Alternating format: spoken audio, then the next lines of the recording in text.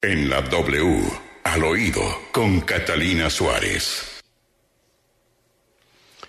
Esta es la W, nos vamos al oído. Catalina, ¿qué tenemos hoy?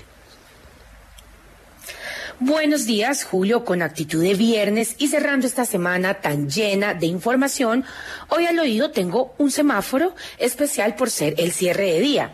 Mire, en las redes sociales muchas son las críticas al fiscal Barbosa.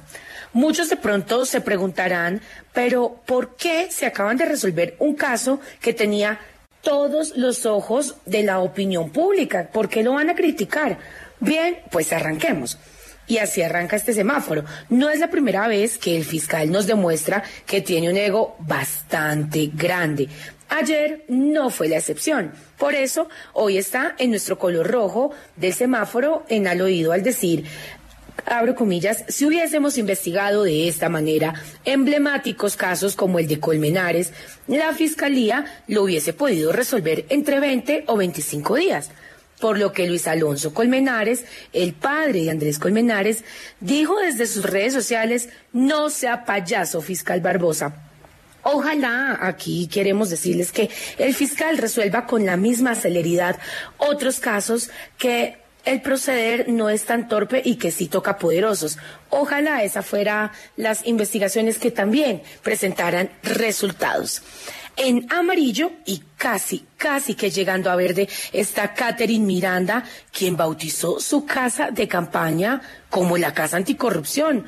Miren, fue lleno total al punto que les tocó hacer el lanzamiento con las personas en la calle. No cabían dentro de la casa y les tengo un dato.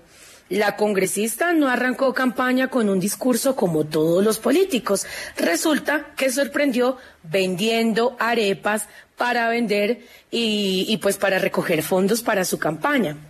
Y por último, para cerrar este viernes de al oído, les tengo en verde nada más y nada menos que la serie de Juan Piz González que se estrenó el miércoles en Netflix. La serie con tan solo un día de estreno es la segunda producción más vista en Colombia.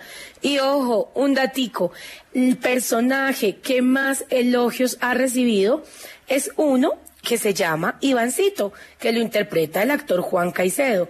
Ivancito acompaña a Juan Piz a todo y esta sátira muestra mucho, que digo mucho, muchísimo de nuestra sociedad.